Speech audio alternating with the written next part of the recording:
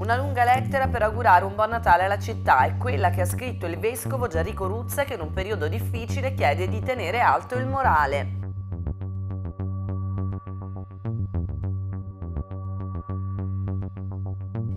La Guardia Costiera ha sequestrato oltre 6 tonnellate di prodotto ittico ed elevato sanzioni per un totale di circa 42.000 euro. Questo l'esito della maxi operazione Atlantide. C'è chi lo festeggerà come sempre, chi è più preoccupato a causa del Covid, ma i civitavecchiesi troveranno comunque il modo di celebrare il Natale, il secondo in pandemia.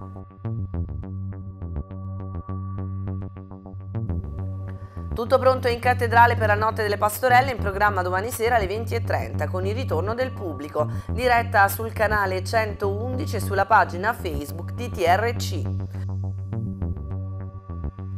Rinviato al 30 dicembre il big match del Civitavecchia che domani avrebbe dovuto sfidare la capolista Pomezia. Alcuni casi di Covid negli avversari hanno costretto al rinvio.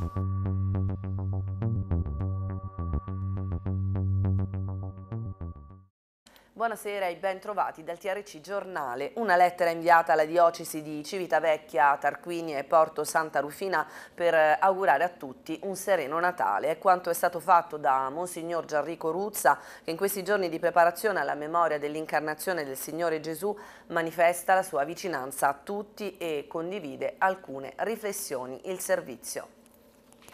Auguro a ciascuno di voi che il sorriso del bambino di Betlemme sia una vera luce nel cammino che percorriamo in questo tempo contraddittorio ed esaltante al tempo stesso.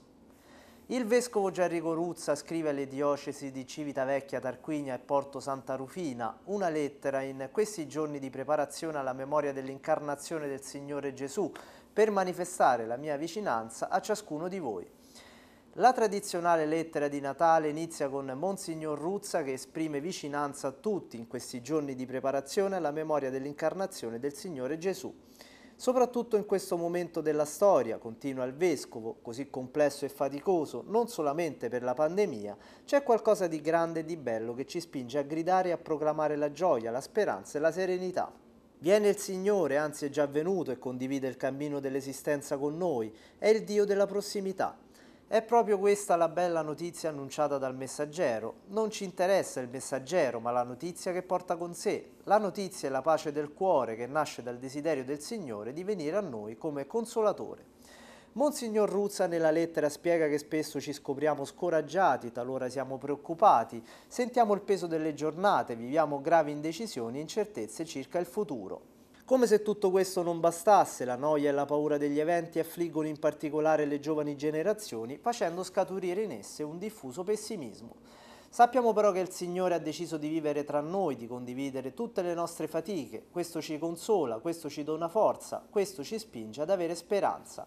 Gridiamolo a tutti, non lasciamo spazio allo sconforto né a qualsivoglia pensiero negativo. Da qui sorge l'invito del Vescovo a prorompere in canti di gioia. Auguro a ciascuno di voi, conclude il presule, che il sorriso del bambino di Betlemme sia una vera luce nel cammino che percorriamo in questo tempo contraddittorio ed esaltante al tempo stesso. Esprimo il desiderio che tutti possano leggerlo come la straordinaria opportunità di vita, di speranza, di gioia che ci viene offerta. Mi auguro anche che tale opportunità sia condivisa con tanti, sorelle e fratelli, desiderosi di autenticità e di pace. Vi benedico con affetto. L'ingresso nella rete core del porto di Civitavecchia, la gestione del conferimento degli incarichi e dei rimborsi per le assistenze legali e un progetto per turbine in grado di produrre energia elettrica dal moto ondoso sono alcuni dei temi trattati nel corso della seduta del comitato di gestione dell'autorità portuale che si è svolta ieri. In apertura il presidente Musolino ha dato notizie ai membri del comitato di gestione dell'entrata del porto di Civitavecchia nella rete core, sottolineando che è un risultato storico storico che si è ottenuto grazie al risultato del lavoro di squadra dell'ente e di tutti i rappresentanti del Lazio ad ogni livello istituzionale. Tutte le delibere sono state approvate all'unanimità dalla richiesta della seconda tranche del contratto di prestito BEI alla ratifica di alcune variazioni di bilancio. Gli altri punti dell'ordine del giorno erano relativi alla modifica del regolamento per il conferimento di incarichi di patrocinio, assistenza legale e rappresentanza in giudizio dell'autority.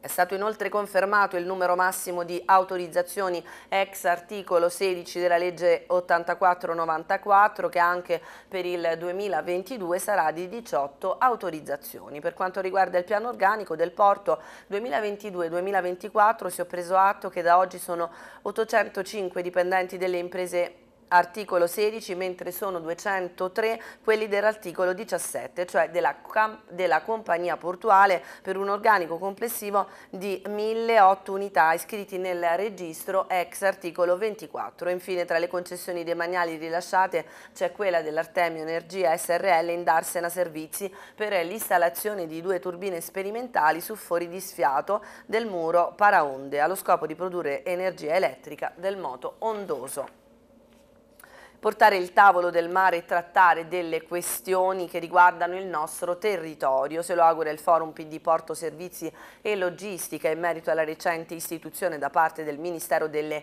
Infrastrutture e delle Mobilità Sostenibili di uno strumento in grado di aprire un confronto permanente con le associazioni di categorie sindacali indispensabile per approfondire temi generali specifici che riguardano i porti, la loro sostenibilità economica, sociale e ambientale. Riteniamo importante questa iniziativa del governo, affermano dal forum del PD, soprattutto se calato nel nostro territorio. Il nostro porto dovrà avere la giusta considerazione su vari temi che si stanno affrontando, da quello delle infrastrutture sostenibili a quello della logistica e merci, della formazione alla qualità del lavoro e sicurezza, delle semplificazioni competitività fino a tutti i processi di digitalizzazione. Secondo IDEM, il tavolo permanente sarà un luogo importante dove avanzare proposte concrete e trovare soluzioni condivise generando un salto di qualità al settore in considerazione dei forti investimenti sui porti previsti dal Piano Nazionale di Ripresa e Resilienza che avranno un impatto importante nel processo di transizione ecologica. E prosegue l'attività della Guardia Costiera di Civitavecchia in materia di controllo della filiera della pesca e tracciabilità dei prodotti a tutela della, della risorsa ittica e dei consumatori. Il bilancio dell'attività ispettiva porta all'elevazione di sanzioni amministrative, amministrative per circa 42.000 euro con il sequestro di oltre 6 tonnellate di prodotto ittico, in particolare in provincia di Viterbo presso un centro di trasformazione e commercio all'ingrosso di prodotti ittici nel comune di Montefiascone il personale della Capitaneria di Porto di Civitavecchia ha proceduto al sequestro di oltre 15.000 confezioni di prodotti ittici vari per un totale di circa 5 tonnellate scaduti o con provenienza ignota e pertanto non commercializzabili. Inoltre l'attività di eh, vigilanza volta al contrasto del fenomeno della pesca di frodo del riccio di mare ha portato i militari ad individuare otto pescatori subacquei abusivi provenienti dalla Sicilia e dalla Puglia fermati e sanzionati sul litorale nel comune di Santa Marinella e Tarquinia. Oltre all'attrezzatura utilizzata sono stati sequestrati più di 15.000 esemplari di riccio di mare che ancora vivi e vitali sono stati rigettati in mare aperto dalla Guardia Costiera e restituiti quindi al proprio delicato ecosistema. L'attività di contrasto a tale deprecabile fenomeno ha portato all'elevazione di 16 sanzioni amministrative nei confronti dei pescatori subacquei per un totale di 39.000 euro e chi cercando di mettersi alle spalle le brutte notizie sul fronte Covid, chi con parecchia, con parecchia preoccupazione vista l'attuale situazione, ma i civitavecchiesi non vogliono rinunciare a festeggiare il Natale. Siamo andati in giro per il centro cittadino per ascoltare le opinioni dei cittadini in merito alla festa più attesa dell'anno. Le interviste. Signora, come vede questo Natale? Molto triste. Molto triste, come mai? Perché sono tutti preoccupati perché ci richiudono, e poi ho visto che i casi di Covid hanno aumentato, io sono vaccinata, pure mio marito, però sono preoccupati che riusciamo a prenderlo e questo cavolo di mascherina mi appanna sempre gli occhiali, non ci vedo più, non ne posso più. Adesso c'è nuovamente l'obbligo delle mascherine a partire da sì. giovedì, quindi... No, ma io sono contenta, perché poi se sono vaccinata non vorrei che metto a rischio qualcun altro, o che io sono a rischio da qualcun altro Vabbè, eh, Natale è sempre Natale e, e, si deve rispettare, però lo vedo dal punto, io non sono un commerciale, però per dire, secondo me, secondo me lo vedo un po' triste, un po' sottotono, non per me ma per i commercianti, per i ristoranti, per i bar, eh, spero che si riprendano, spero, però il governo ha detto che il governo ha detto che forse da, da lunedì ci, ci, porta in giallo perché il Lazio c'è un aumento dei, de, dei contagi, è triste, è triste per alcune categorie secondo me, per altri no, però per dire speriamo che sia un Natale felice. Il problema del Green Pass c'è però ce lo teniamo. Come festeggerete questo Natale? Diversamente dagli anni scorsi no, oppure no. sarà uguale? In famiglia, come tutti gli altri anni. Quindi Natale diciamo così simile a quello degli anni scorsi possiamo dire? Sì, sì, sì. Non cambia niente, non cambia. anzi stanno pure peggio. Sì. Sempre in famiglia, niente di, di eccezionale. Lei invece? Sempre in famiglia, anch'io. Adesso torna l'obbligo dei mascherini all'aperto, siete favorevoli o contrari? Io favorevole, anche se dà un po' fastidio, però speriamo che ci che ci aiuti a uscire da questa situazione. Non è semplice però insomma, serve per poter cercare di tornare a una vita normale. Certo, speriamo. Sì, sì, prima possibile. Oh, speriamo sempre che il Natale porti qualcosa di buono. Eh sì. Lei invece come la vede? Un pochino più positiva oppure pessimista? No, come, come lei purtroppo perché la situazione non è bella e allora ci, diamo, ci tiriamo su, andiamo, cerchiamo di fare. Stavo dicendo è bello tutta questa, questa illuminazione insomma, che c'è eh, però tanta tristezza, tanta tristezza. Ci tiriamo su così, facendo una passeggiata, però con molta tristezza perché i casi stanno veramente aumentando e siamo molto, almeno io sono molto preoccupata. Quindi festeggerete in modo diverso? No, festeggeremo a casa, in famiglia, anche perché proprio per via del coronavirus abbiamo tanti casi, comunque cerchiamo di stare separati, abbiamo tanti casi di malati in casa perché ci siamo dimenticati i tumori, ci siamo dimenticati tante cose, dove invece abbiamo, ognuno di noi, c'è un qualcosa di questo genere, cerchiamo di tutelare, di tutelare anche queste persone stando più a casa possibile. Lei invece? È uguale, a casa, con marito, figlio, mamma, eh, limitare molto gli inviti perché ehm, è, penso che dall'altro anno a st'anno non è cambiato nulla. E poi questa è una malattia, come diciamo sempre con lei, che bisogna rispettare il prossimo. Anch'io ho mio marito insomma, che ha avuto un tumore, perciò è una persona fragile, fragile e bisogna stare attenti. Tutti gli utenti della zona 1, quelli cioè del centro cittadino, nella sola giornata di venerdì dovranno anticipare l'esposizione dei contenitori dell'indifferenziata entro le ore 10 del mattino, anziché alle ore 20. Con l'occasione si ricorda che la raccolta dell'indifferenziata non comporta il conferimento di carta, cartone plastica, metalli ed organico, che vanno conferiti negli appositi giorni di raccolta secondo il calendario attualmente in vigore. Per venerdì non sono invece previste variazioni di esposizione dei contenitori per gli utenti della zona 2, restano confermati tutti i servizi di raccolta differenziata porta a porta ordinari presso i domicili come da calendario vigente durante tutta la settimana della festività. La raccolta itinerante di plastica e metalli sarà invece sospesa solo nei giorni di sabato 25 dicembre 2021 e sabato 1 gennaio 2022. Gli utenti che avranno l'esigenza di conferire plastica e metalli potranno continuare a farlo con il porta a porta, il consueto giorno della settimana, come da calendario di raccolta.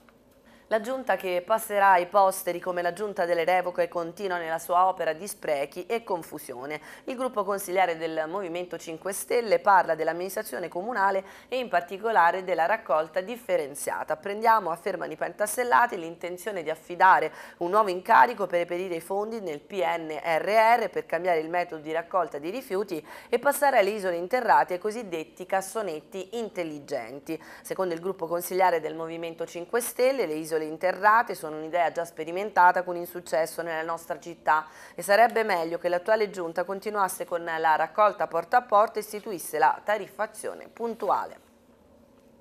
A sorpresa, con appena tre giorni di anticipo, è stata convocata dalla Regione Lazio la seconda riunione della conferenza dei servizi per decidere sull'autorizzazione dell'esercizio dell'impianto di produzione biometano da rifiuti organici. Il mega digestore che la società Ambienta Lazio vorrebbe realizzare in località Monna Felicita Lo affermano Comitato Sole e Forum Ambientalista che ancora una volta eh, ribadiscono la loro contrarietà al progetto e chiedono all'amministrazione comunale di attivarsi in ogni sede per confermare espressamente il parere negativo. Facciamo appello, concludono le associazioni ambientaliste, alla mobilitazione cittadina e del comprensorio, all'intervento delle istituzioni locali, comune, città, metropolitana, regione, le forze politiche e sociali e quanti hanno a cuore le sorti del territorio per impedire questo ulteriore danno all'ambiente all'ambiente e alla salute.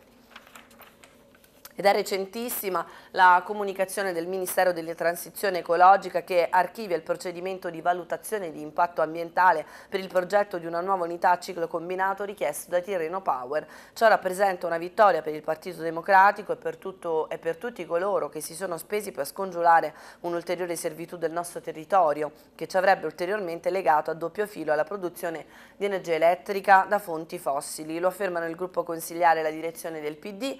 Rimane in campo il progetto progetto per il turbogas di Enel riprendono i democratici, che dobbiamo continuare ad avversare con tutte le nostre forze ad ogni livello istituzionale. Non si può non esprimere preoccupazione a proposito di un'accelerazione del processo di un'eventuale autorizzazione per la, mh, mm, per la realizzazione di un eh, mega di gestori di rifiuti località Monna Felicità. La nostra posizione di netta contrarietà affonda le radici nell'assoluta consapevolezza che il nostro territorio non è in grado di tollerare questa forma di insediamento. Ed anche quest'anno torna l'appuntamento la notte delle pastorelle su TRC. Domani a partire dalle 20.40 trasmetteremo in diretta sul canale 111 del Digitale Terrestre sulla pagina Facebook di TRC Giornale la mh, serata di esibizione in collegamento dalla cattedrale che riprenderà ad ospitare il pubblico dopo lo stop forzato dello scorso anno non solo, al termine della diretta l'atmosfera natalizia proseguirà sul canale 111 con i canti di Natale ripresi in giro per la città con le ormai classiche interviste ai protagonisti e alle istituzioni, anche riproponendo alcune esibizioni del passato. Ma tornando alla pastorella in programma domani sera in cattedrale, ascoltiamo le interviste degli organizzatori. Angelo Lucignani, Marco Manovelli, parliamo ovviamente della grande tradizione civitavecchiese, quella delle pastorelle, quindi la serata del 23. Allora io intanto ad Angelo chiedo come si svolgerà la serata di giovedì, cosa dobbiamo aspettarci? Dal punto di vista della, dello spettacolo, se così sì. possiamo dire, saranno tutti i gruppi, anzi invitiamo tutti i gruppi che vogliono partecipare con, portando loro, eh, il loro repertorio di canzoni tradizionali a partecipare a questa serata. Basta soltanto che la sera stessa visto che comincerà alle 20.30, magari qualche minuto prima, vengono e ci dicono io sono il gruppo X e mi piacerebbe partecipare. Vogliamo che chi partecipi partecipi in serenità, altrimenti proprio viene meno lo spirito dello spettacolo. Quindi Marco come è organizzata questa serata? Ci saranno delle restrizioni o altro? Ci saranno i vigili urbani in primis, la protezione civili, civile e, mm, e poi spero, e questo lo auguro, ma lo so, il buonsenso, perché il buonsenso vuol dire essere muniti di Green Pass, sapere che questa è una manifestazione come in un teatro a cui possono aderire solamente persone che eh, rispettano le norme, eviteremo ovviamente assembramenti, ma lasciatemi dire sono molto felice, sono molto felice perché l'anno scorso andammo in diretta streaming, voglio ringraziare veramente in maniera sentita, ma di cuore, non un, ringraziamento così tanto per farlo, il nostro vescovo. Eh, Ruzza, perché già dall'anno scorso dimostrò una grande sensibilità, una grande capacità di capire quelle che sono le tradizioni civili che era appena arrivato, permettendoci Angelo di fare questa diretta streaming. Quest'anno appena io l'ho chiamato mi ha detto vai tranquillo Marco, mettiti d'accordo con Don Cono che ringrazio ugualmente, sentilo e così è stato. E così il sindaco e così la fondazione eh, perché sono vicini. La serata sarà dedicata insomma, a un personaggio importantissimo per la storia di Civitavecchia, di, possiamo dire così. Assolutamente, un personaggio importantissimo, un amico personale. Eh, noi conoscevamo Flavio da tantissimo tempo, tra l'altro eh, aveva la figlia che partecipava con la pastorella di Laura, Laura Currado e Flavio si è prestato nel, nei tempi passati anche insomma, a dare una mano nell'organizzare, Flavio Mazzocchi che è venuto a mancare poco tempo fa dopo una lunga malattia che lui ha portato avanti con grande dignità. e ha insegnato veramente tante cose, non soltanto essere un bravo musicista, un bravo professionista perché era una persona umilissima, una persona che ieri stava sulla RAI a suonare con Massimo Ranieri e il giorno dopo eh, stava parlando con tutti senza bisogno di dover magari come magari qualcuno fa eh, impropriamente attirarsela un po'. Per cui crediamo che questa volta, visto che si parla di musica, visto che si parla di rinascita, di rispetto e di tradizione, Flavio Mazzocchi è stato un grande musicista, un grande amante di tutto questo e noi vogliamo dedicare questa edizione proprio a Flavio. Si intitola Pensando al Natale l'evento organizzato dalla comunità di Sant'Egidio per domani alle 19.15 alla chiesa di San Giovanni in Piazza Saffi. Si tratta di una serie di letture a cura dell'associazione culturale Il Serapeo, con musiche curate da Christian De Iulis e Michele Capitani. L'evento si svolgerà nel pieno rispetto delle normative anti-Covid. Il 2021 termina con la presentazione di un nuovo libro per Marina Marucci. La scrittrice civitavecchiese annuncia l'uscita della sua nuova opera che si intitola Un amore irrisolto. Ascoltiamo l'intervista. Due personaggi, un insegnante di scuola media, un ispettore di polizia, Sofia Vitti e Roberto Masina. E sono qui come interpreti di alcuni aspetti della nostra vita che restano spesso irrisolti. Di che cosa tratta nello specifico questo romanzo e che è un sequel in parte? Sì. Allora, è un romanzo d'amore, eh, d'amore a tutto tondo, ma amore in generale, in tutti i suoi aspetti.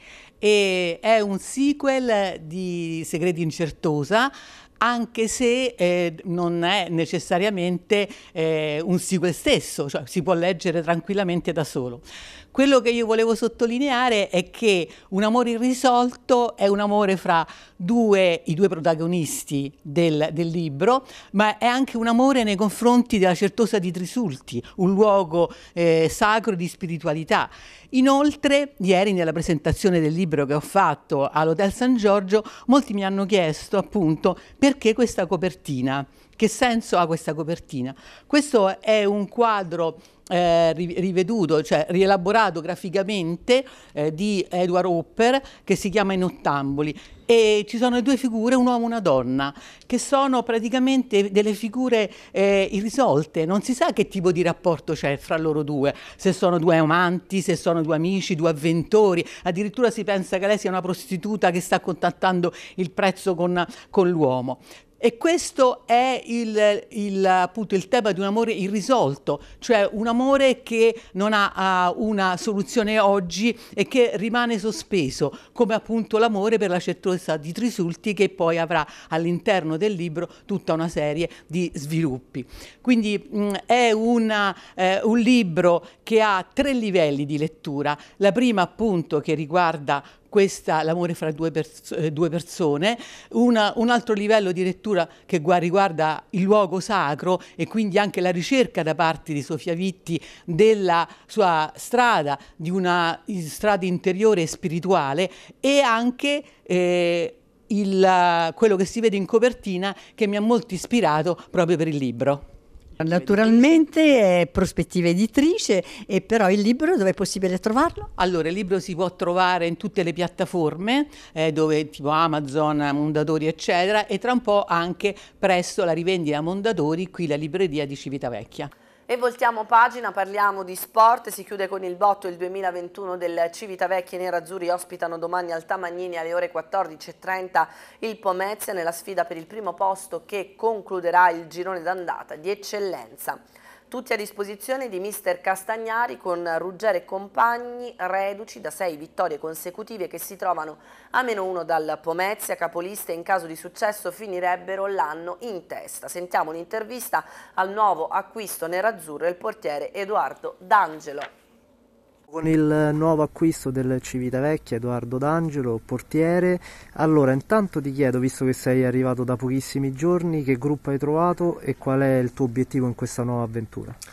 È un bel gruppo, spogliatoio coeso, già anche domenica contro il Ladispoli si è visto comunque una grande squadra, una squadra compatta, una squadra che non ha concesso niente, sicuramente mi aspettavo di arrivare in un gruppo così forte, poiché siamo lì sopra, almeno almeno uno dal Pomezia che è prima in classifica attualmente, poi vediamo V3 Macarese e Montecimini, quindi diciamo non sono stato più di tanto sorpreso. la qualità del, della rosa è, è clamorosa perché comunque, perché comunque, è una squadra che deve lottare per rimanere lì fino a, a marzo e, o aprile nel caso in cui andiamo a fare i playoff. Ecco. E tu ti aspetti di giocare però? Eh, quello poi aspetta al mister ovviamente decidere, poi si vedrà già anche con l'altro portiere. Mi trovo bene, mi trovo bene con il gruppo, spero sì di poter giocarmi le mie carte il prima possibile. Ecco. Se ti chiedo un obiettivo per il 2022? La vittoria in campionato col Civitavecchia, ecco, andare in Serie D. Il Civitavecchia sfiderà nuovamente la Fabl Cimini nella Coppa Italia di Eccellenza. Questo è l'esito dei sorteggi che si sono svolti oggi pomeriggio in streaming per determinare gli accoppiamenti delle semifinali. L'andata si giocherà a Vignanello il 13 gennaio e il ritorno al Tamagnini il 27 dello stesso mese. Si ripropone quindi la sfida tra i nero-azzurri e gli ex Scorsini, Tabarini e Vittorini che è già andata in scena due volte in questa stagione. Uno in campionato con la vittoria esterna della Fabl Cimini per 3 a 2 e poi curiosamente le due squadre si sono già affrontate in questa Coppa Italia nel secondo turno, con il Civitavecchia che ha vinto ai rigori. Il regolamento ha però premiato entrambe le squadre che si sono qualificate al turno successivo e adesso si ritroveranno contro in semifinale. Il 2021 si chiude con un ritorno in nerazzurro per Andrea Russo, il ginnasta della SG assieme a coach Gigi Rocchini ha preso parte all'incontro internazionale tra Italia e Turchia che si è svolto a Padova in seguito alla festa delle medaglie olimpiche e mondiali dove c'è stata anche la premazione dell'iridato Marco Lodadio. L'aviare dell'aeronautica militare ha chiuso al decimo posto nella classifica generale con il punteggio di 62,700 che ha consentito al gruppo di cui ha fatto parte di poter centrare la terza posizione nella classifica a squadre e si chiude nel segno del successo il 2021 per il Circolo Canottieri Civitavecchia impegnata alla, Salia, alla Salaria Sport Village per la Coppa di Natali, tante le soddisfazioni per il tecnico Gianfranco Tranquilli, rimasto soddisfatto delle prove dei suoi dagli allievi ai master che può essere anche un buon auspicio per il 2022. Oro per Alessia Gabriela Azoitei negli allievi B1,